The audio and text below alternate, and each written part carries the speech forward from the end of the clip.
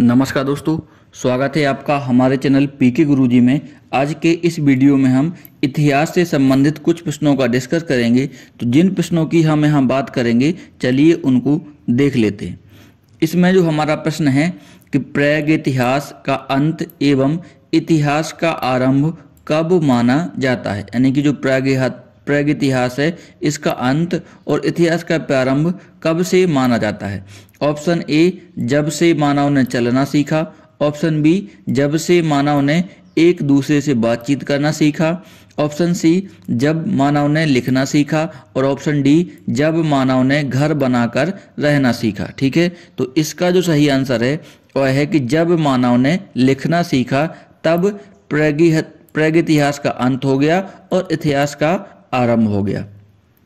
आगे बढ़ेंगे कि बीते हुए युगों की घटनाओं के संबंध में जानकारी देने वाले स्रोतों को क्या कहा जाता है? ऑप्शन ए, ऐतिहासिक स्रोत, ऑप्शन बी, भौगोलिक स्रोत, ऑप्शन सी, सामाजिक स्रोत और ऑप्शन डी, राजनैतिक स्रोत। तो इसका जो सही आंसर है, वह है ऐतिहासिक स्रोत, यानी कि जो बीते हुए युग हैं इनकी घटनाओं के संबंध में जो स्रोत जानकारी हमें देते हैं, हम उनको ऐतिहासिक स्रोत कहते हैं। आगे बढ़ेंगे कि निम्नलिखित में से कौन सा ग्रंथ श्रुति ग्रंथ का अंग नहीं माना जाता, ठीक है? श्रुति ग्रंथ का अंग नहीं माना जाता है, ये हमें बताना है। Option A, Samhita, option B, Brahmana, option C, Upanishad, option D, Purana. तो इसका जो सही आंसर है वह है पुराण, जो कि पुराण है, वह श्रुति ग्रंथ का अंग नहीं माने जाते। ठीक है? तो जो पुराण है श्रुति ग्रंथ बोलते हैं वेदों को तो वेदों का यह हिस्सा नहीं है। ठीक है? ये पुराण जो है, वेदों का हिस्सा नहीं है। पुराण जो है, वह उत्तर वैदिक साहित्य है। और पुराणों में विज्ञान, भूगोल, विज्ञान, ब्रह्मांड, विज्ञान, भूगोल, चिकित्सा, वंशावली, खनिज विज्ञान और व्याकरण, जैसे विभिन्न विषयों को शामिल किया गया ठीक है? तो जो पुराण है वह उत्तर वैदिक साहित्य है, वेदों का हिस्सा नहीं है। आगे बढ़ेंगे कि त्रिपिटक धर्म ग्रंथ किस धर्म से संबंधित है? त्रिपिटक धर्म ग्रंथ ये हमें बताना है कि किस धर्म से संबंधित है। ऑप्शन ए, जैन धर्म से, ऑप्शन बी, बौद्ध धर्म से, ऑप्शन सी, सिख धर्म से, और ऑप्शन डी, हिंदू धर्म से। तो इसका जो सही आंसर है वह है बौद्ध धर्म से, त्रिपिटक धर्म ग्रंथ जो है, वह बौद्ध धर्म से संबंधित ग्रंथ है।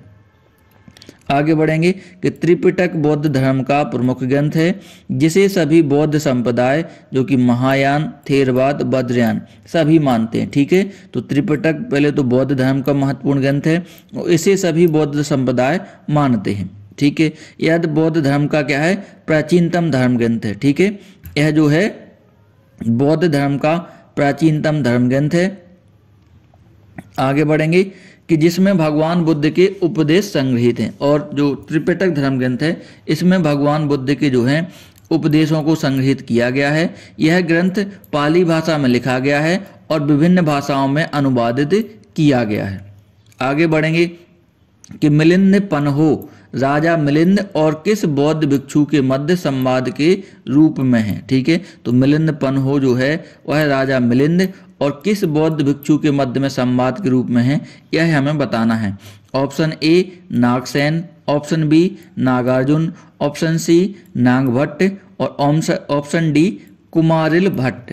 तो इसका जो सही आंसर है, वह है नागसेन, यानी मिलिंद पनहो में राजा मिलिंद और बौद्ध भिक्षु नागसेन के मध्य में संवाद बताया गया है।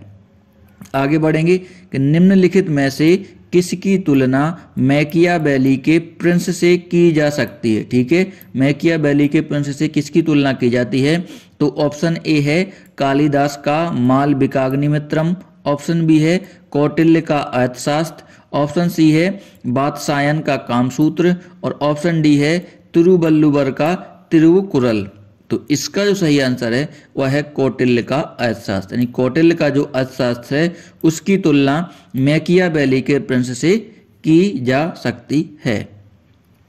आगे बढ़ेंगे कि कौटिल्य के अर्थशास्त्र में किस पहलू पर प्रकाश डाला गया है। ठीक है तो कौटिल्य का जो ग्रंथ है, अर्थशास्त्र, इसमें किस पहलू पर प्रकाश डाला गया है ए हमें बताना है।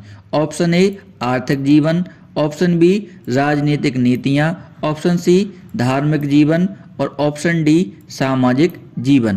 तो इसका जो सही आंसर है, वह है राजनीतिक नीतियाँ, ठीक है? तो जो कौटिल्य का अर्थशास्त्र है, इसमें राजनीतिक नीतियों के बारे में बताया गया है। नाम ही भले इसका अर्थशास्त्र है, इसका, लेकिन इसका अर्थशास्त्र से कोई संबंध नहीं है। इसका संबंध है राजनीतिक नीतियों से। आगे बढ़ेंगे कि जियोग्राफिका की रचना किसने की थी? ठीक है? जियोग्राफी का ग्रंथ है। इसकी रचना किसने की थी? ए, हमें बताना है। Option A, Herodotus.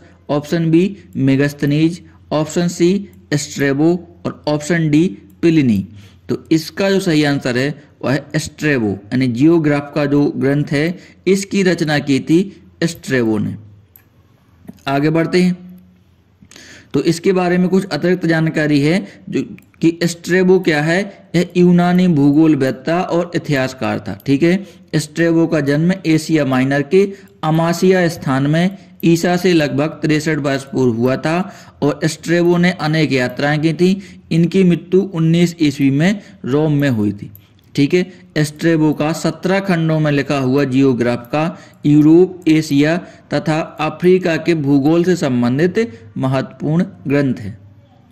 आगे बढ़ेंगे कि पिलिनी पिलिनी की पुस्तक का क्या नाम है? ठीक है, हमें बताना है कि पिलिनी का की पुस्तक का क्या नाम है?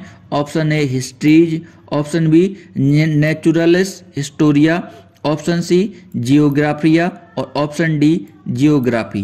तो इसका जो सही आंसर है, वह है नेचुरलिस नेचुरलिस्ट हिस्टोरिया, यानी ऑप्शन नंबर बी, इसका सही आंसर है। पिलिनी की जो पुस्तक है, उसका नाम है नेचुरलिस, हिस्टोरिया। आगे बढ़ेंगे कि पेरी प्लस ऑफ़ इरीथ्रियन सी, ठीक है? पुस्तक का नाम है पेरी प्लस ऑफ़ इरीथ्रियन सी की रचना किसने की? ऑप्शन ए, हेरोडोटस ने, ऑप्शन बी, मेगस्थनीज ने, ऑप्शन सी, स्ट्रेबो ने, और ऑप्शन डी, अज्ञात यूनानी लेखक ने। तो इसका जो सही आंसर है, वह है अज्ञात यूनानी लेखक ने, यानी जो peri plus of Erythraean Sea पुस्तक है, इसकी रचना एक अज्ञात यूनानी लेखक ने की थी। थैंक यू दोस्तों। इस वीडियो को देखने के लिए आपका बहुत बहुत धन्यवाद।